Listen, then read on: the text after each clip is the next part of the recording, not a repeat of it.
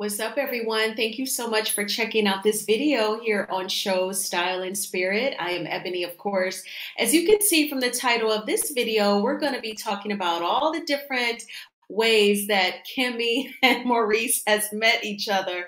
There's been at least three different stories out there, possibly a fourth. So before we get into it, I do ask that you please hit the like button on this video.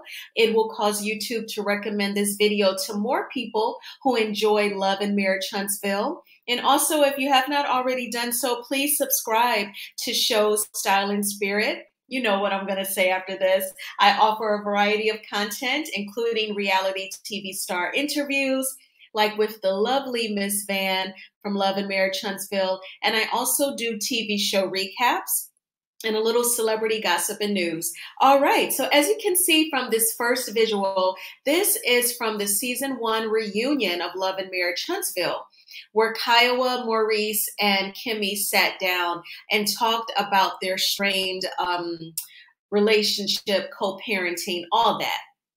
So then we actually learn a bit about how Kimmi and Kiowa met. And then once we go all the way to the end of the soundbite, it also includes Maurice. Let's go ahead and jump right on in.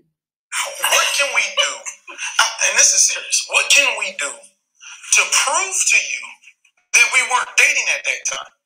And part of the right. reason. Why does it matter? Let me, does it, what's, it matters to you. Why does it does not matter to me? They asked me a question. Okay. And I answered the question. It doesn't matter. You're married now. What difference does it make when you dated? That's she asked me. Because you've been salty for years. Not because of that. Not because of that. What, what is it?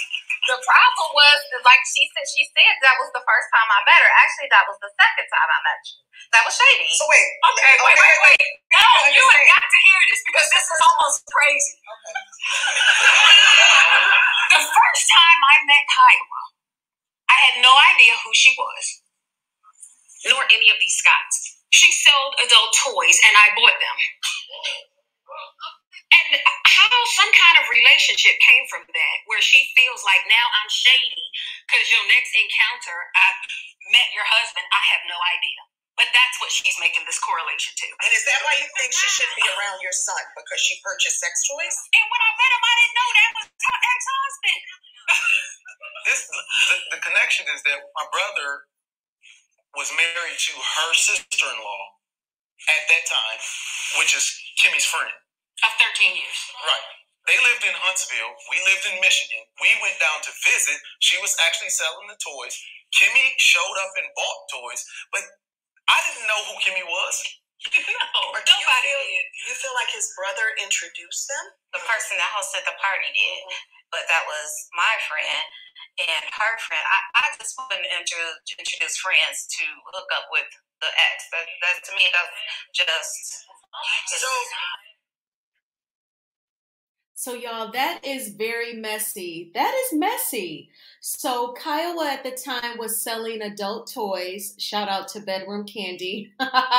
and so, her uh, former, she said her sister in law, which was also Kimmi's friend, I'm just going to say a mutual friend, was hosting the party. So, Kiowa did a toy party, and Kimmi was one of the guests. It sounds like it was a co ed party because Maurice was there. And according to Kiowa, she feels like this mutual friend may have introduced Kimmi and Maurice, which is super duper messy because, yo, I get it if y'all are divorcing and you've signed the papers, but if she's a mutual friend, shouldn't she have some sort of um, alliance with Kiowa?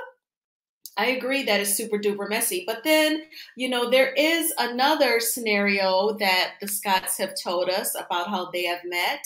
You know, this is familiar to you, I'm sure, when she wanted to jump ahead of the effects of the treatment and she wanted to cut her hair before it would just come out, just to kind of ease the trauma. I get it.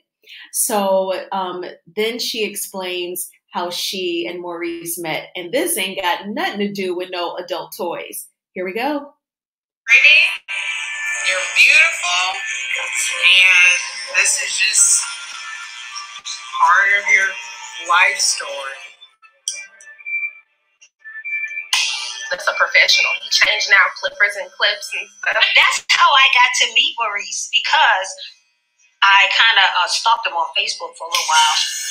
hey. And Patricia, my girlfriend, she was like, Oh, he's, yeah. a, he's a barber. And I was like, really? She was like, yeah, he cuts hair. And I was like, word. So I went on Facebook and I was like, I hear you cut hair. And he was like, I do. I said, well, I have a son that needs a haircut. And as a single mother of a young gentleman, I actually took that opportunity as a chance to get to know Maurice. And so he came over to cut Jalen's hair. So that was one of our very first um, introductions. I didn't know I was getting interviewed at the time. I really like it. So I will say that in that clip, she does say that is one of our introductions, almost like covering to say perhaps they kept meeting or she said she you know would troll him on on social media on facebook. So i'm guessing they initially saw each other physically at the toy party. Perhaps there was a mutual attraction but but then she pursued it by you know like oh i hear that you're a barber. And then it sounds like she invited him over to her house to cut the boy's hair.